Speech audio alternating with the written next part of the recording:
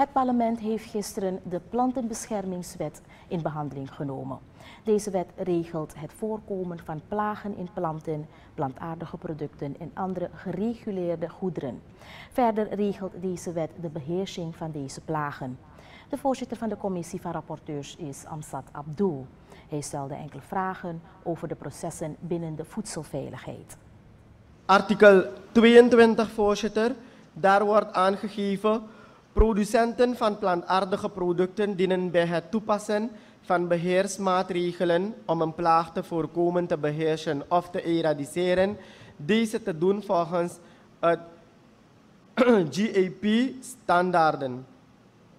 Bij gebreken waarvan de dienst overgaat tot het treffen van fytosanitaire maatregelen, zoals vernietiging van de aanplant. Voorzitter, de GAP, Good Agriculture Practices, voorzitter, de standaarden daarvan, zullen de producenten getraind worden van wat er dat allemaal inhoudt en hoe ze kunnen voldoen aan die standaarden.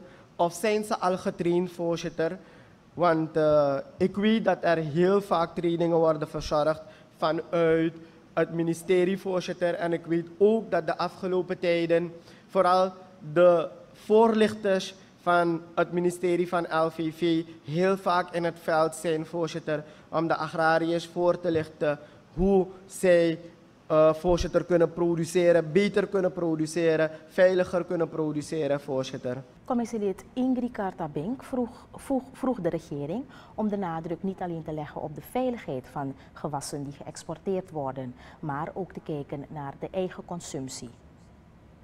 Voorzitter, ik denk dat wanneer we alleen maar praten over export en niet kijken voor met wat wij zelf consumeren in Suriname, dan hebben we wel een groot probleem, ja. Want hier wordt meer gesproken over import, export. Wanneer we kijken nu naar artikel 5, wordt er gesproken over controleposten. Voorzitter, zijn de controleposten in place?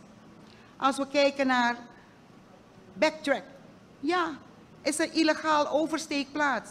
Maar weet u hoeveel dingen daar oversteken of naar ons toe komen? Bijvoorbeeld oversteek bij Apura. Albina en omstreken, voorzitter. Of gaan we het beleid nog, het gedoogbeleid toepassen? De behandeling van de wet wordt morgen voortgezet.